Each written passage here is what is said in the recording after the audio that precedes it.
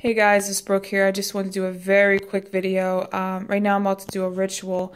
And I just want to talk about a miracle that just happened. Um, that's how I know the spiritual is real and it's been with me my whole life.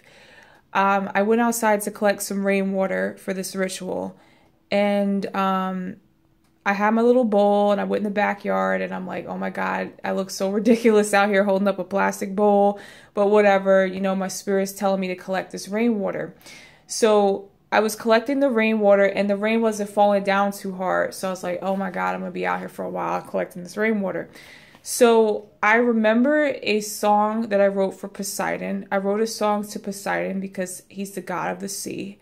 And um, I was born um, a Pisces. I was born a Pisces. I was, bo- I was born under Neptune.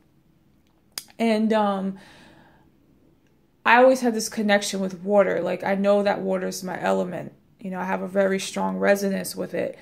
So I wrote a song to Poseidon and um, it was a love song. And I also was thinking about Yemaya, the goddess of the of the sea as well, goddess of water. I was just thinking about a lot of water goddesses and gods, and I was outside and I was laughing, holding up my bowl, like there's not a lot of rain coming down.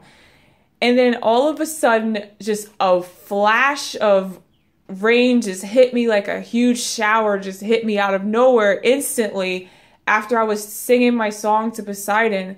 And I'm like, wow, this stuff is really powerful. It's really powerful stuff getting connected to the gods and goddesses of, of earth and nature. And I was so excited, I almost cried because I'm like, man, they heard me. They really heard me. Like they, it was just pouring down rain. And after I was done collecting the rain, when I came into the house, the rain stopped.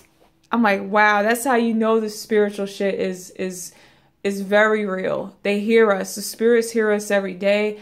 And when you get connected to the to good spirits and good ancestors, they will help you out. So right now I'm about to do a ritual. And you guys are probably asking why the hell is there little bites and food behind it?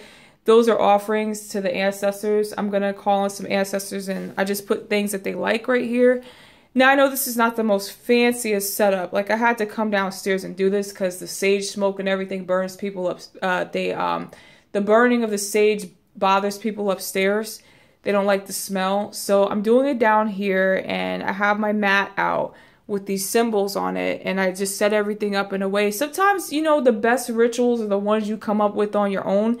You don't have to do every single thing by the book. Like I do like I do some basic things by the book, but I also add my own creative flavor to it because when you can resonate with your setup, because your setup is for you, for you to connect with the um, ancestors. And if you don't like your setup, because you might listen to some ancient person who put something together that's not resonating with you, then just make it your own. Be creative with it. Like I made this shit on my own. Like I know it looks ratchet to some people, like oh the stones are not in the right place and all this shit. Like I don't care. This is what I'm resonating with. You know. I put some basic shit in here, but this is what I'm gonna do. I'm gonna do it this way today because I'm feeling it.